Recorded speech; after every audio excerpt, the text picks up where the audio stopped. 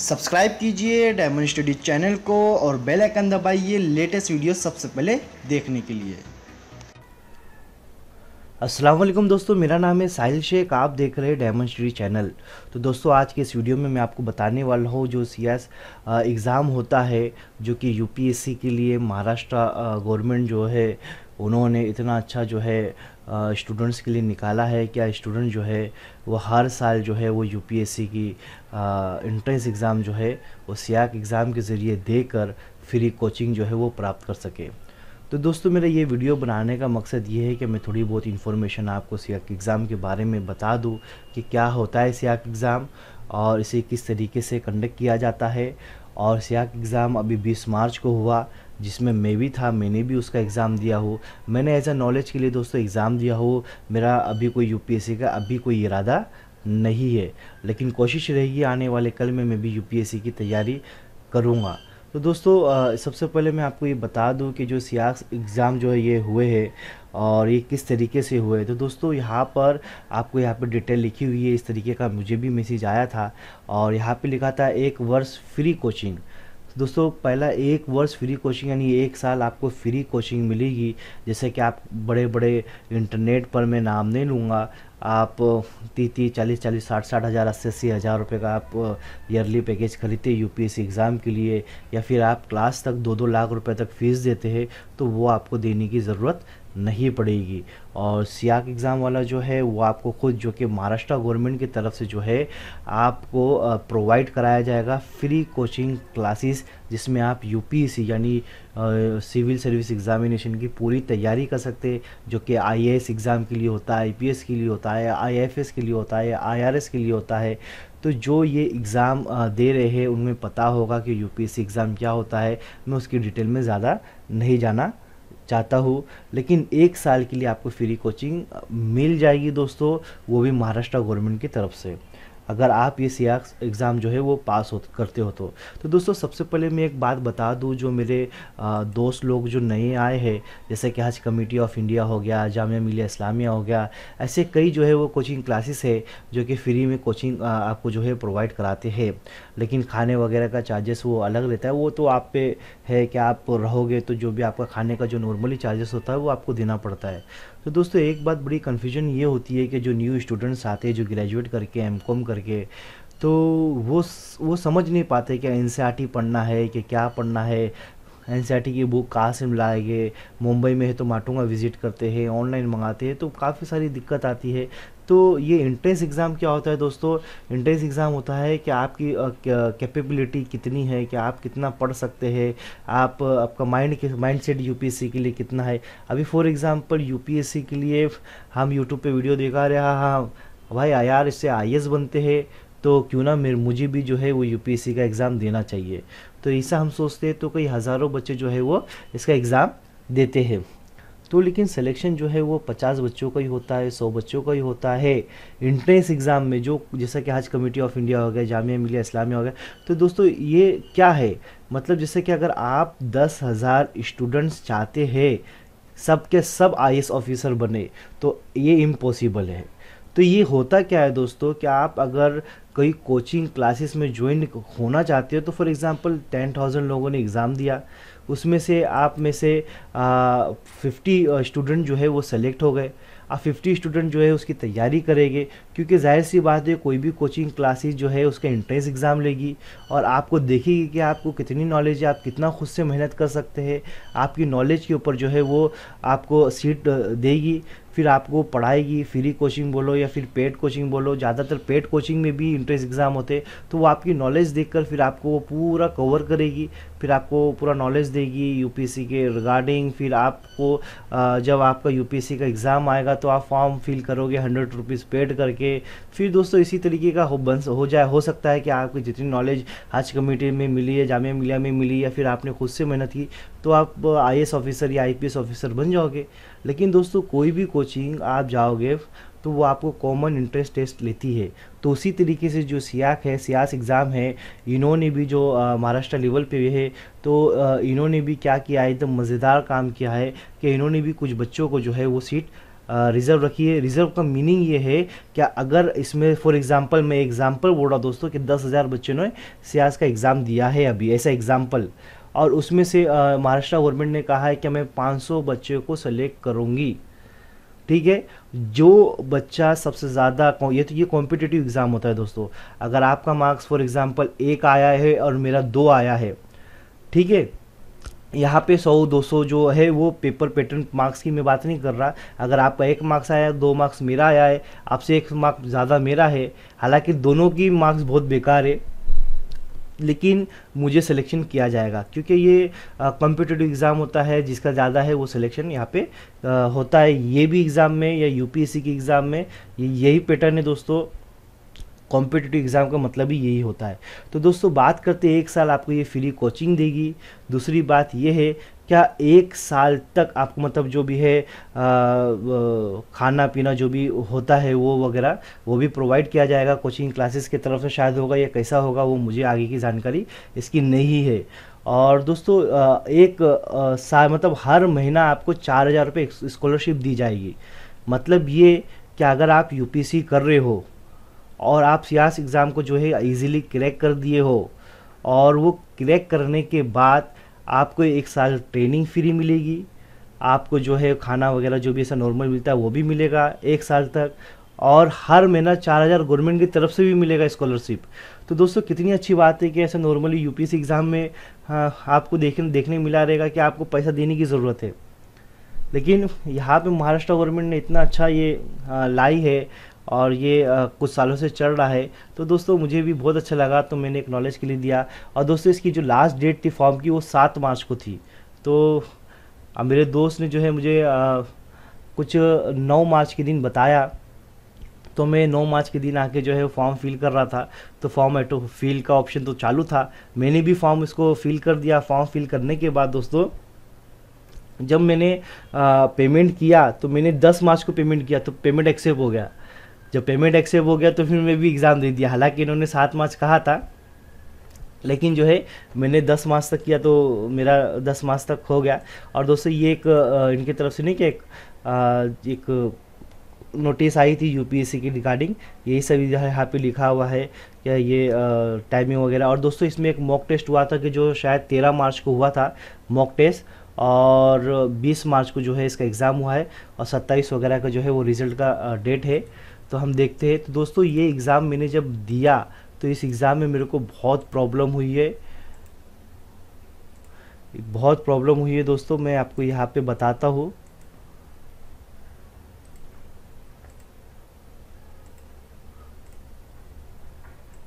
मैंने ना दोस्तों, स्क्रीनशॉट इसका ले लिया था। क्योंकि मेरे दिमाग में एक बात थी, क्या ये गवर्नमेंट का एग्ज़ाम है, हज़ारों बच्चे जो है ऑनलाइन एग्ज़ाम देंगे तो बहुत प्रॉब्लम आने वाली है। तो दोस्तों, ये इस तरीके के क्वेश्चन ना इसके अंदर पैटर्न आते हैं, ये पैटर्न है। मैं कोई यहाँ पे आंसर वगैरह ये नहीं बता रहा कि इसका आंसर ये सब रॉन्ग है। तो ये हाँ इस तरीके का दोस्तों देखो, ये one two three four five six seven eight nine ten यहाँ तक दोस्तों, मैंने ना इसे जब लॉगिन किया तो ये आपका जो है ना वेब कैमरा ओपन होता है और आपका बाकायदा जो है वो फ़ोटो भी लेगा मतलब स्क्रीन पूरी रिकॉर्डिंग चलेगी दोस्तों और एक अच्छे से एग्ज़ाम भी होगा। लेकिन दोस्तों मैंने फ़र्स्ट सेकेंड थर्ड ऐसा फोर्थ तक गया। तो दोस्तों ये आ, ये जब मैं एग्ज़ाम दे रहा था तो एग्ज़ाम देते देते दोस्तों एक प्रॉब्लम ये आ रही थी कि ये बार बार बार बार ना एक ऑप्शन एक इरोर आ रहा था। देखो ये जो इरोर है ना ये बार बार आ रहा था। मैं नेक्स्ट करता हूँ ये इरोर आता है। मैं कोई भी फॉर एग्जांपल मेरा क्वेश्चन फोर है क्वेश्चन फोर का फॉर एग्जांपल मैंने ये सेलेक्ट किया नेक्स्ट पेज किया तो फिर से ये इरोर आ रहा है। फिर मैं बैक करता तो इसी में ना मेरा दोस्तों बहुत टाइम जा रहा था। जैसा कि एक घंटा पचपन मिनट का जो मेरा टाइम बाकी है तो वो तीस सेकंड चले जा रहे थे उसके चक्कर में। फिर से वो ये मेरे को तीस चालीस सेकंड वापस से मुझे मिल जाता था। तो दोस्तों, टाइम आ भी जा रहा था, जा भी रहा था, इसमें इतनी कन्फ्यूज़न हुई ना दोस्तों। तो ऐसा करते करते हुआ क्या दोस्तों लास्ट में इसमें एंड क्या हुआ कि ये क्वेश्चन में अटैम्प करते करते मैं थर्टी एट पे पहुँचा। फिर जब मैं नेक्स्ट करता हूँ तो थर्टी सेवन पे आ गया। फिर नेक्स्ट कर रहा हूँ तो थर्टी सिक्स पे आ गया। हालाँकि यहाँ पे मैंने प्रीवियस का भी ऑप्शन था, मैंने प्रीवियस पे क्लिक ही नहीं कर रहा हूँ। यहाँ पे प्रीवियस पेज पे और मैं क्लिक ही नहीं कर रहा हूँ। मैं नेक्स्ट पे कर रहा हूँ तो वो पीछे आ जा रहा है। और दोस्तों फिर मेरे को वेब कैमरा का बंद हो जाता है। फिर कुछ और बताता है। ये मैं अपने लैपटॉप में एग्ज़ाम दे रहा था।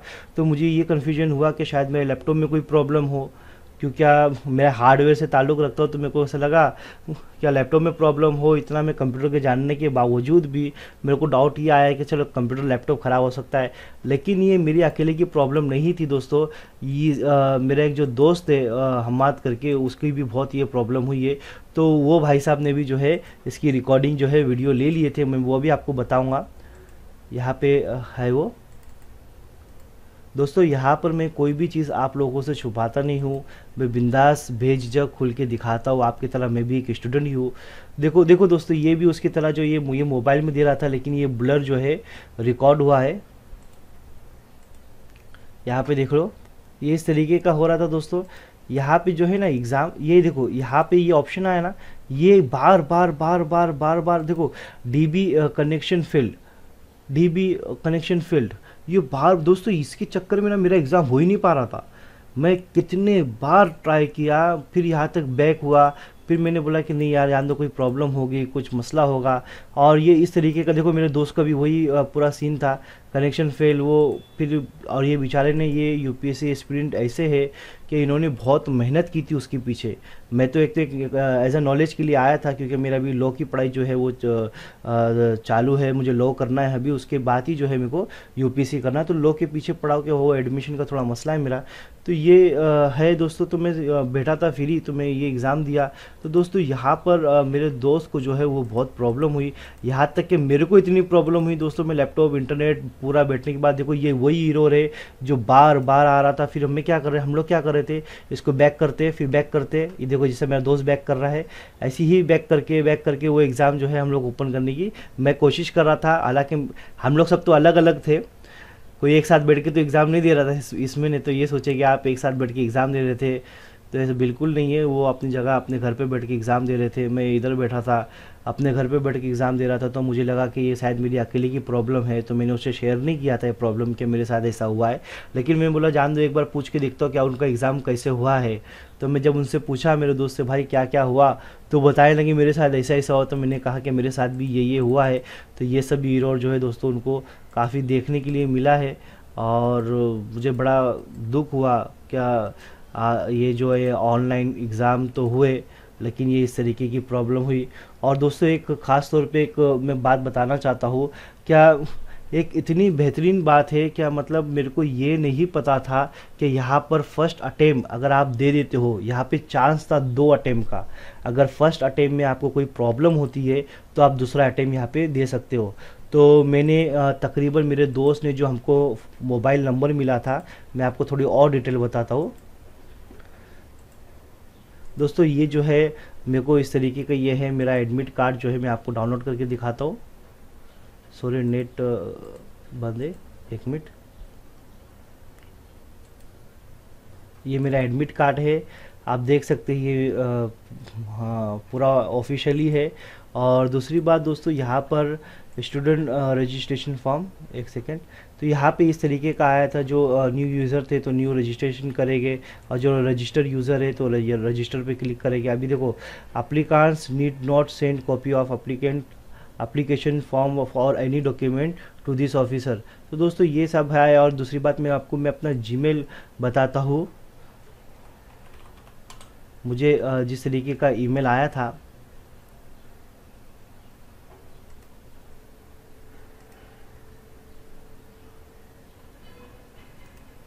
यहाँ पे देखो। लेकिन दोस्तों, ये जो टाइम बताते हैं, ये एक्यूरेट टाइम ना आपको बताते हैं। एकदम एक्यूरेट टाइम कि 10 बजे एग्ज़ाम होगा तो 10 बजे होगा 11 बजे होगा तो 11 बजे होगा 20 तारीख होगा तो 20 तारीख को होगा। यहाँ पे लिखा है dear Mohammad Sahil it has been resolve that the common entrance exam two two thousand twenty for SIAC and other pre I S center centers held on twenty March two two thousand twenty will be reconducted for all registered exam fees paid student. The exam schedule will be uh, notified soon after the checking central government and state government exam do not clash with our exam. The director and uh, the director and nodal officer SIAC तो ये एक दोस्तों मेरे को ये आया था इससे पहले भी मैं आपको एक चीज़ और बताता हूँ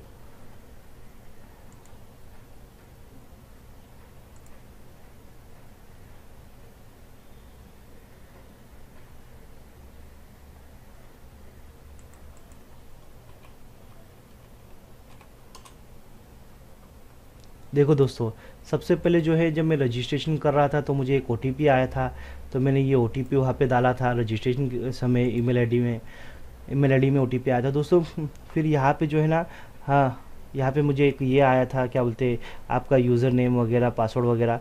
तो दोस्तों, अगर आप इसका एग्ज़ाम देना चाहते हैं, जैसा कि हज कमेटी का एग्ज़ाम देते हैं तो आपको शायद सौ रुपया फ़ीस है और अलग अलग कोचिंग की फ़ीस होती है। तो यहाँ पे जो है ना दोस्तों, जो रिज़र्व कैटेगरी में आते हैं, जैसा कि ई में आते हैं और शायद ओबीसी वगैरह में जो तो उनको ढाई सौ रुपये जो है लगता है। और जो ओपन कैटेगरी में आते हैं जर्नल में तो उनको जो है पाँच सौ रुपया फ़ीस लगती है एग्ज़ाम देने की। मैंने इसको पाँच सौ रुपया दिया था। तो दोस्तों ये है लिंक और ये आ, मेरे यूज़र आईडी और पासवर्ड। तो ये मैंने जो है वो चेंज कर चुका हूँ। अब मैं यहाँ पे और बताता हूँ आपको।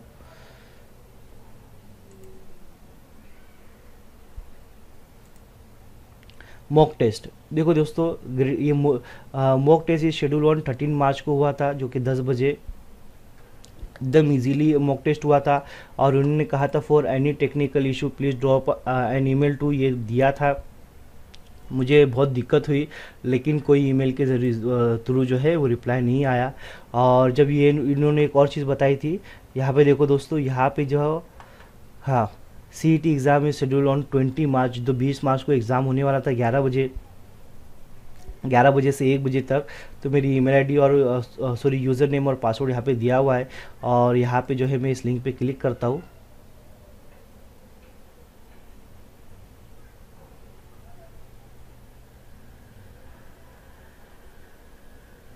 दोस्तों, शायद अभी ये वर्क नहीं करे क्योंकि मुझे उसी दिन जो है इसके बारे में वीडियो बनाना चाहिए था। लेकिन खैर जाने दीजिए। यहाँ पे नीचे क्लिक करता हूँ। हाँ। चलो, ये जो है, वो नहीं ओपन हो रहा है, लेकिन विज़िट यहाँ पे लिखा हुआ है फॉर डिटेल इंस्ट्रक्शंस तो ये इस पर आता हूँ मैं। तो दोस्तों, यहाँ पे मुंबई के लिए जो है तो उनके लिए ये लिंक थी, और अमरावती, कोला हाँ अमरावती हो गया, औरंगाबाद, कोल्हापुर नागपुर नासिक वगैरह की सबकी लिंक दी हुई थी तो वो क्लिक करके स्टूडेंट जो है अपनी आईडी और पासवर्ड डाल के वो कर सकते हैं। थर्टीन मार्च को हुआ, बीस मार्च को ये होने जा रहा है तो इस तरीके का बताया गया था। तो फॉर मुंबई कोल्हापुर और मुंबई कोल्हापुर के लिए ये स्पेशल जो है नंबर दिया गया था। मेरा दोस्त कहने लगा कि मैं हंड्रेड बार फ़ोन किया? जब मेरा मसला हो तो कोई रिस्पॉन्स नहीं दिया गया। यहाँ तक कि मैंने दोस्तों, चार चार से पाँच बार मैंने खुद फ़ोन किया, उनका फ़ोन बिज़ी बिज़ी बिज़ी बता, बताने लगा। फिर मैंने क्या किया मैं बोला छोड़ो, जान दो और मैं बोला, एग्ज़ाम को मुश्किल है होना और मैं एक नॉलेज के लिए आया तो मैं बोला, जान दो, अभी प्रॉब्लम होती है। गवर्नमेंट डिपार्टमेंट भी करे तो क्या करे? इतना ऑनलाइन का उनको भी बहुत प्रॉब्लम है। लॉकडाउन का सबको प्रॉब्लम हो रही है। इस वजह से मैं भी बोला, जान दो, भूल जाइए। और मैं, क्या है? मैं अपना सो गया फिर।